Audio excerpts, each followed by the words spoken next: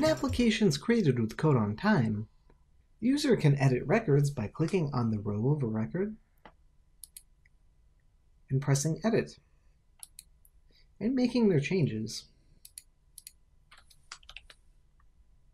and pressing Save. In some situations, it might be easier to edit directly from the grid. We can use the Row Context menu and press Edit.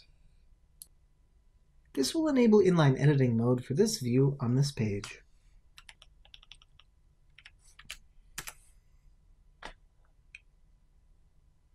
The next time the user navigates to the page,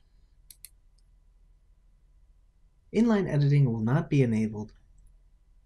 By default, the user has the ability to enable inline editing for their current user account by using the View selector and enabling inline editing.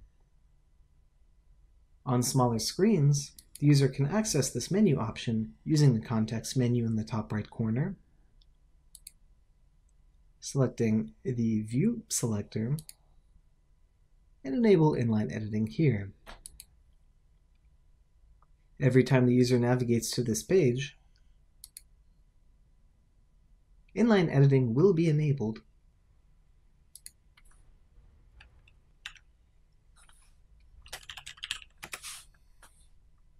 Navigating to other pages, you will notice that inline editing is not enabled on these other views until the user opts to enable the mode.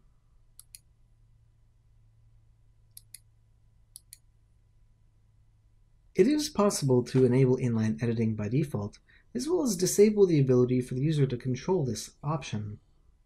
In order to insert new records using inline editing, the user can use the new template at the bottom of the view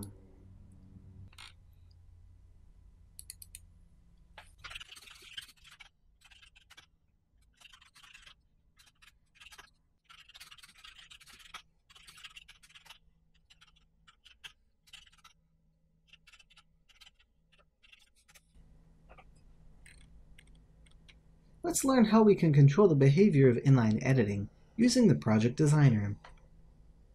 In the Project Designer, let's expand Customers page and double-click on View 1. We can use the Tags property to control the behavior. The first tag is called Inline Editing. Adding this tag will enable inline editing by default for all users navigating to your app.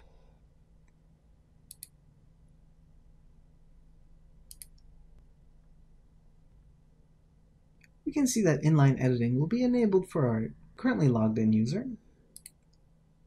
If we log in as a new user,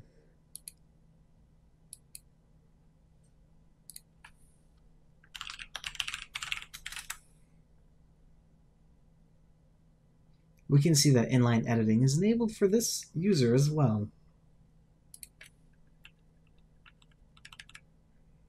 Note that all users have the ability to disable inline editing. We can also disable automatic enablement of inline editing when the user tries to edit a row.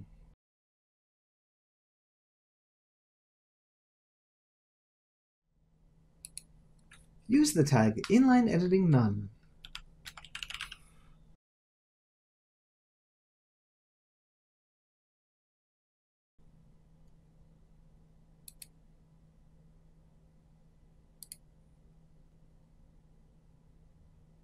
Inline editing has not been enabled by the user here.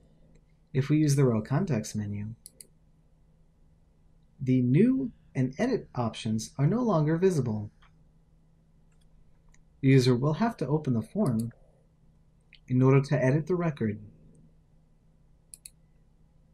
The user can enable inline editing using the View selector.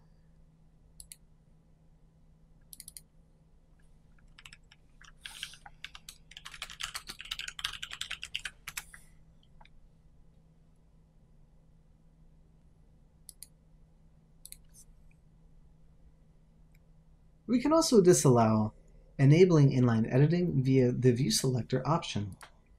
Let's add the tag Inline Editing Option None.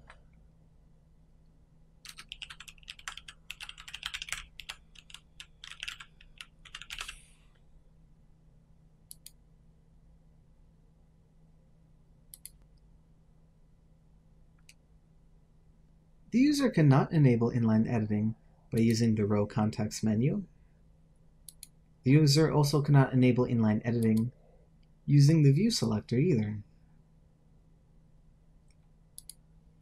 We can also use the tag combination inline editing space inline editing option none in order to force inline editing enabled always and remove the ability for the user to disable the functionality.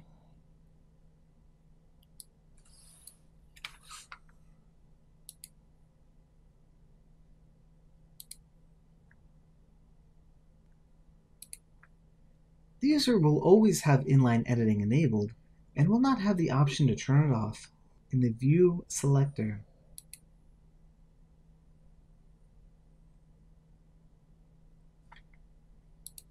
There is also one more tag that we can use.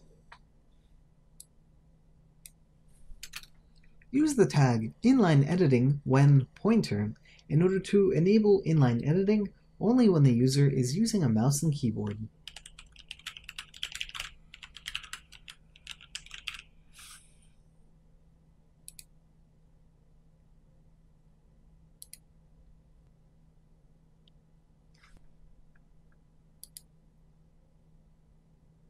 Notice that we have the ability to enable inline editing due to the presence of a mouse pointer. If the user were using a touchscreen, such as on their iPhone, Android, or other mobile device, they will not have the option available.